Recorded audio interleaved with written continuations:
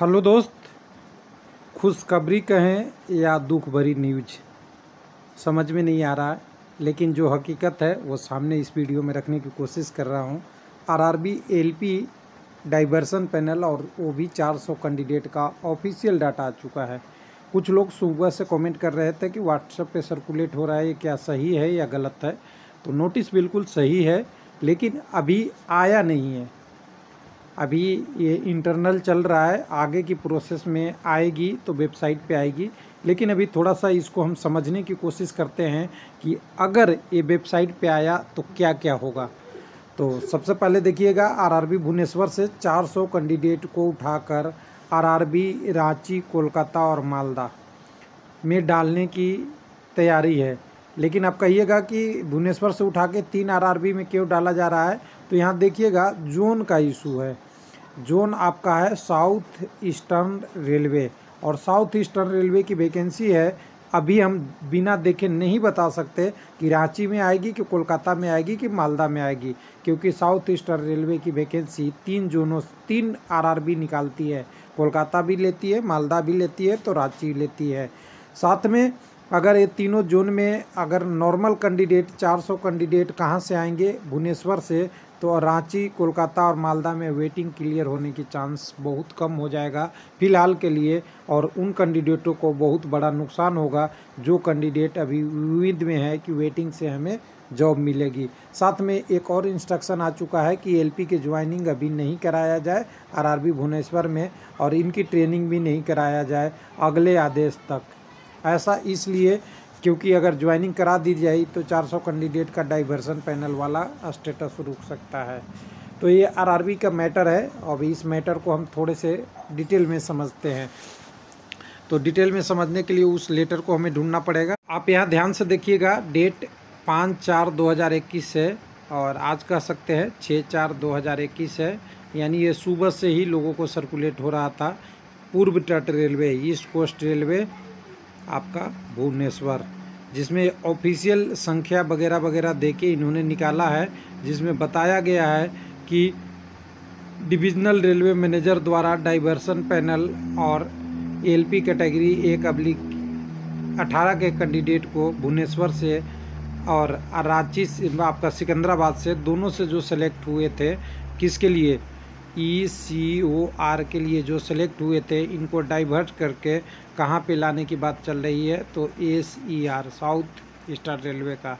तो ध्यान दीजिएगा, ये यहाँ पे सबसे पहले आप समझ लेंगे, ये दोनों आरआरबी वो आरआरबी है, जहाँ से ई सी ओ आर की वैकेंसी आई थी। तो आपने देखा होगा, सिकंदराबाद में भी आई थी और भुवनेश्वर में भी आई थी वैकेंसी और नहीं आते तो पहले एक बार आपको समझा देते हैं थोड़ा सा जो इंक्रीज वैकेंसी टेबल था, उससे हम आपको समझा देते हैं, क्योंकि कन्फ्यूज़न न रह जाए आपको।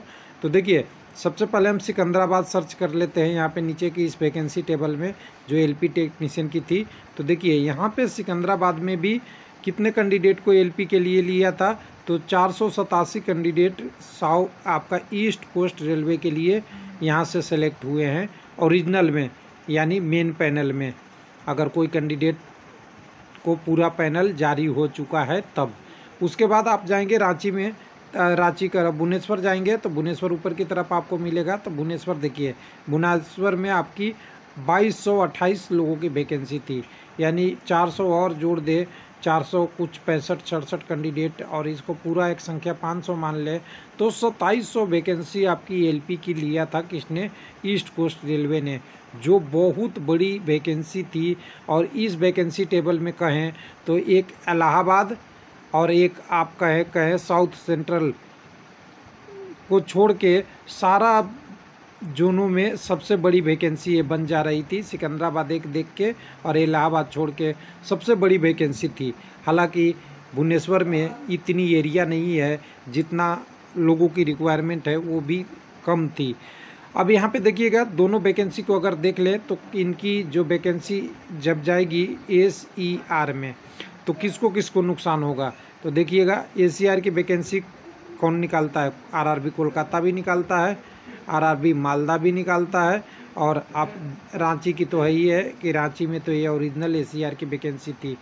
तो यहाँ पे जो वैकेंसी थी आपकी, रांची और मालदा और कोलकाता में, वो तो लगभग लगभग भर गए हैं, तभी डाइवर्सन पैनल के लिए तैयारी कर रहा है।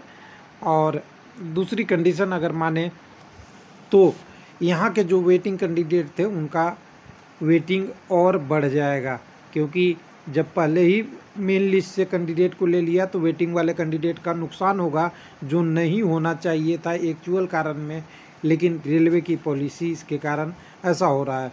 अब इस पैनल में और थोड़ी आगे समझेंगे तो इसको समझते हुए देखते हैं कि above subjected railway board decide किया है कि रेलवे बोर्ड ने डिसीज़न ले लिया है और अप्रूव कर दिया है कि प्रपोजल टू क्या है?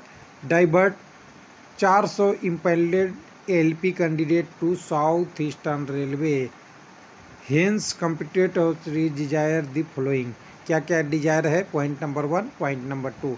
Point number ये है कि अभी जो कैंडिडेट की ज्वाइनिंग होनी थी, ट्रेनिंग होनी थी, उनको फर्दर ऑर्डर तक रोक दिया जाए। Waiting to join training.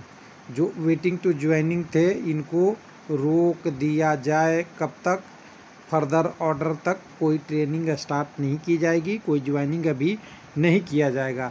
अगर ऐसा रोका क्यों जा रहा है, उसका कारण टू है। टू में लिखा जाता है कि विलिंगनेस मांगा जाएगा हर कैंडिडेट से। क्या मांगा जाएगा? हर कैंडिडेट से विलिंगनेस माना जाएगा कि आपका सिलेक्शन ई ओ सी आर में हुआ है। आप R R E S E R में जाना चाहते हैं या नहीं जाना चाहते हैं? सीधी भाषा में।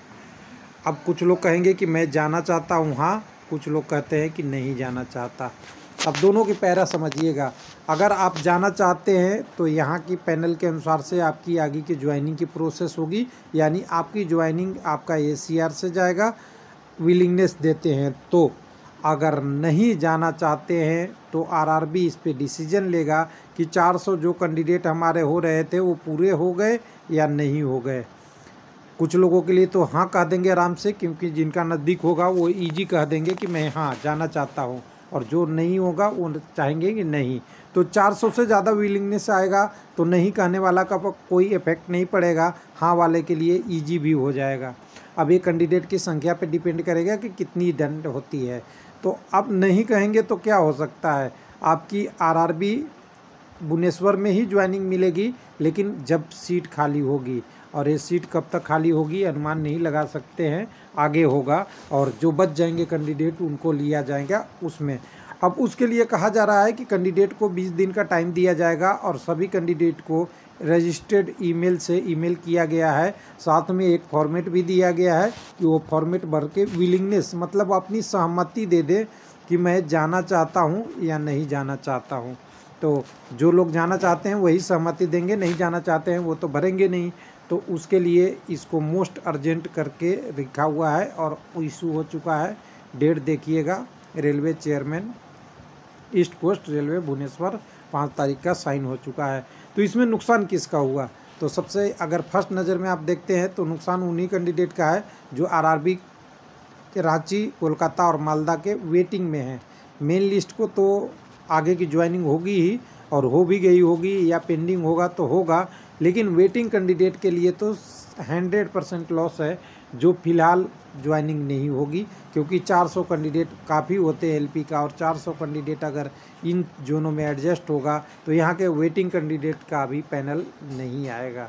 दूसरा, अगर भुवनेश्वर वाले कैंडिडेट का बेनिफिट क्या होगा? बेनिफिट ये होगा कि वे अपने ज्वाइनिंग की वेट कर रहे हैं, और हो सकता है एक बैच में 200 लोगों का हो 100 लोगों का हो ऐसे ऐसे हो सकता है। लेकिन यहाँ पे अगर तीनों आरआरबी में जाएँगे तो इनकी ज्वाइनिंग हो सकता है जल्दी हो। ये मैं नहीं कहता हूँ कि हमेशा जल्दी हो सकता है, डिले भी हो सकता है, लेकिन ज्वाइनिंग हो सकता है। यानी इस नोटिस का एक ही मतलब है कि कुछ कैंडिडेटों के लिए तो थोड़ी सी खुशी है कि उनकी ज्वाइनिंग जल्दी हो जाएगी, लेकिन लॉस उन कैंडिडेटों का है जो वेटिंग में है। तो उम्मीद है कि मैंने इसको अच्छी तरह से समझाने की कोशिश किया है। आपने समझ गया होगा। Thank you. धन्यवाद।